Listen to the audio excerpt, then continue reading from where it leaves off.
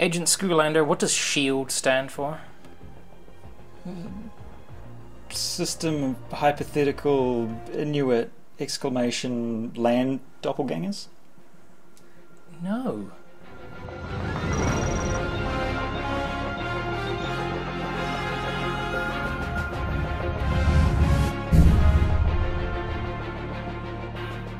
One of the biggest unifying factors of the Marvel Cinematic Universe has been the super secret spy agency called SHIELD, Yeah. the Strategic Homeland Intervention and Enforcement Logistics Division. Yeah, of course. That's what I was going to say. Yeah. What do they do again?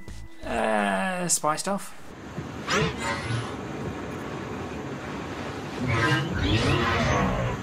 Damn. What we've got here is the Toys R Us exclusive Agents of S.H.I.E.L.D. 3 pack, um, which has brand new figure of Agent Coulson, first ever figure of Maria Hill from the Marvel Cinematic Universe, and a mostly recycled Nick Fury. With a different head on him. no, it's actually the same head that they gave him on a, a different figure release, so Oh, okay. it's just slightly repainted. Hey, well, it's still cool to have a three pack of three characters that are really cool characters, very liked, loved characters. Absolutely. And one of the really cool things is that you're probably not going to find any other way to be able to get out Agent Coulson, who's basically just a guy in a suit. um, you know, it's not the most exciting look for an action figure in the world. Don't know how many kids are going. I really want the guy who looks like a tax inspector. Um, Probably a lot now, though. Well, now After the show, sure, yeah. Uh, Agents of Tax, you know, really exciting, and, and people want to go. I want a guy in a suit. It looks like every other guy in a suit.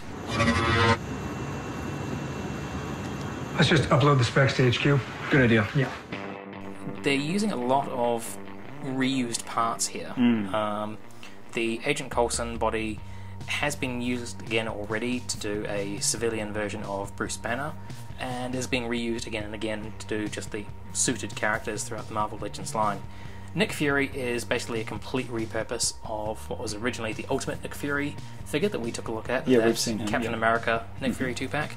And they have actually utilised the same head when they did a Captain America the First Avenger uh, 6 inch line.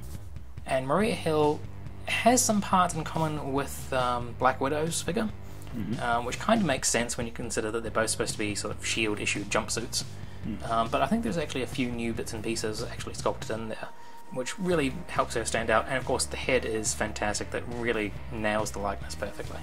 I like the double joints of the elbows and the knees. Do they work better than other figures, do you think? Or... The double joints definitely work a lot better than, than the single joint.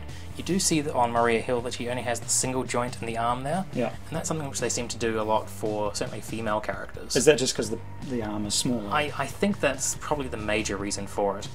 Agent Coulson, of course, does have the, the double articulation there, as does Nick Fury.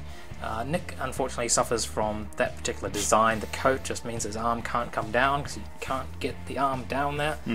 Um, and that is annoying and doesn't make him look that great. I want it fixed just like you found it. Now, one of the nice things here that you do get with some Marvel Legends is we do actually have an alternate head for Agent Coulson, hmm.